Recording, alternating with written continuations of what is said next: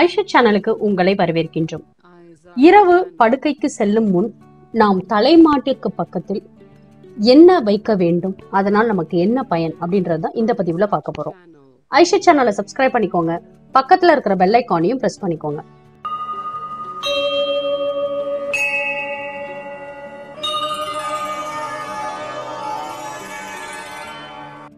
Aisha channel அன்பர்களுக்கு அன்பான வணக்கங்கள். இரவு தலைக்கு அருகில் இதை கட்டாயம் வைக்க வேண்டும்.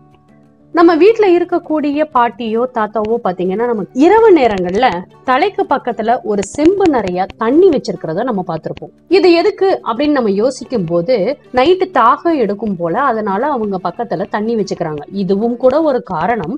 ஆனா முக்கியமான காரணம் அப்படின்னு பார்க்கும்போது நமக்கு இரவு ஏற்படக்கூடிய கெட்ட கனவுகள் மற்றும் தேவையில்லாத சக்திகள் நம்மை சுத்தி வரும். அப்படி சுத்தி வரும்போது இந்த செம்பு தண்ணீரானது அது அனைத்தையும் நம் பக்கத்தில் அண்ட விடாமல் நம்மை பாதுகாக்கின்றது.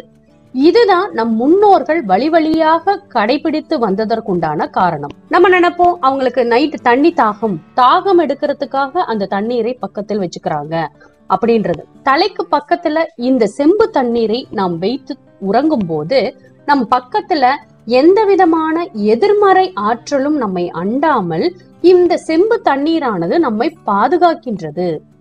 சில பேர் பாத்தீங்கன்னா பாட்டில்ல தண்ணி வச்சுப்பாங்க. இனிமே அந்த தவற செய்யாதீங்க.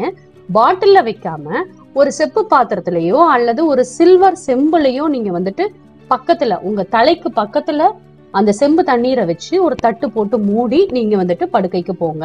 இப்படி வைக்கிறதுனால நமக்கு கெட்ட கனவுகள் என்பது வருவது தடுக்கப்படுகின்றது. இந்த கெட்ட க கனவுகள் ஏன் வருது அப்படின்ற போது நமக்கு இருக்கக்கூடிய மனதில் இருக்கக்கூடிய எதிர்மறையான எண்ணங்கள் அப்படியே நம்மளுக்கு மனதுல ஓட்டமாவே இருக்கும்.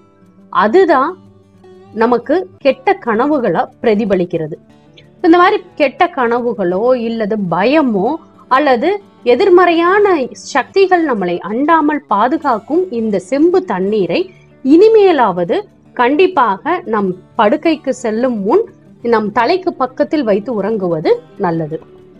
பாட்டில்ல தண்ணி வைக்கிறது பிளாஸ்டிக் பாட்டில்ல தண்ணி வைக்கிறது கிளாஸ்ல தண்ணி வைக்கிறது இந்த மாதிரி வேலைகளை செய்யாதீங்க. அதுக்குன்னு தனியா ஒரு செம்பு வச்சு அந்த செம்புல தண்ணீரை நிரப்பி வைங்க. தட்டு போட்டு மூடியே கூட வைக்கலாம். காலையில எழுந்த உடனே இந்த தண்ணீரை நீங்க குடிக்காதீங்க. அப்படியே கால்படாத இடத்துல ஊத்திடலாம். சில பேருக்கு ரொம்ப சந்தேகம் இருக்கக்கூடியது இந்த கால்படாத இடம் எது? நாங்கள் அப்பார்ட்மெண்ட்ஸில் இருக்கோம். கால்படாத இடம்னா நாங்கள் கீழே வந்து ஊற்றணும் தேவையில்லைங்க. உங்களோட வாஷ் பேஷனில் கூட ஊற்றலாம் இல்லை பாத்திரம் விளக்குற சிங்கில் கூட நீங்கள் ஊற்றிடலாம் பாத்ரூமில் மட்டும் ஊற்றிடாதீங்க பாத்திரம் விளக்கக்கூடிய சிங்க்லையோ அல்லது வாஷ் பேஷன்லையோ முதல்ல எழுந்திரிச்சோன்னே நீங்கள் ஊற்றிட்டு அதுக்கப்புறமா நீங்கள் உங்களோட ரொட்டீன் ஒர்க்கை அந்த சிங்கில் நீங்கள் செய்ய ஆரம்பிக்கலாம். இது மிகவும் ஒரு நல்ல பழக்கம். இந்த பழக்கத்தை நீங்க பின்பற்றி வரும்போது உங்கள் வீட்டிற்கோ இல்லது நீங்க தூங்கும் போது எந்த எதிர்மறை சக்தியும் உங்களை அண்டாது. எதிர்மறையான எண்ணங்களும் உங்களுக்கு தோன்றாது. காலையில எழுந்து பார்க்கும்போது அந்த செம்பு தண்ணீர்ல நீர்க்குமிழிகள் இருந்துச்சு அப்படின்னு சொன்னீங்கன்னா பாத்தீங்கன்னா உங்களுக்கு வரக்கூடிய அந்த எதிர்மறை ஆற்றலை அந்த தண்ணீரானது பெற்றுக்கொண்டது அப்படின்றத அர்த்தத்தை தான் அந்த நீர்க்குமிழிகள் நம்மளுக்கு உணர்த்துறது. அதனால காலை எழுந்தவுடன் அந்த தண்ணீரை மறந்தும் கூட குடிச்சிடாதீங்க. அப்படியே எடுத்து உடனே நம்ம வந்துட்டு அதை கால்படாத இடத்துல ஊத்திடலாம் சில பேர் கேட்பாங்க அதுல முகம் கழுவலாமா? இல்ல வந்துட்டு நம்ம எந்திரிச்சோன்னுமே அதை வந்துட்டு வாய் கொப்பளிக்கலாமா? இந்த மாதிரி வேலைகள்லாம் அந்த செம்பு தண்ணீர்ல நீங்க செய்யாதீங்க. நைட்டு அந்த தண்ணீரை நம்ம தாகம் எடுக்கும் போது குடிக்கலாமா அப்படின்னு சில பேர் கேட்பாங்க. கண்டிப்பாக குடிக்கலாம். அதனால தவறு கிடையாது. ஆனா காலை எழுந்த உடனே அந்த தண்ணீரை நீங்கள் கால்படாத இடத்து ஊத்தி விட வேண்டும். அதனால இன்னையில இருந்து இந்த வழிமுறைகளை நீங்க பயன்படுத்திட்டு வாங்க. கண்டிப்பாக நேர்மறை எண்ணங்கள் அதிகரித்து மனதில் நிம்மதி பிறக்கும். மேலும் இது போன்ற தகவல் அறிய ஐஷட் சேனலை சப்ஸ்கிரைப் பண்ணுங்க ஷேர் பண்ணுங்க. உங்களுடைய கருத்துக்களை எங்களுக்கு பதிவு பண்ணுங்க. நன்றி வணக்கம்.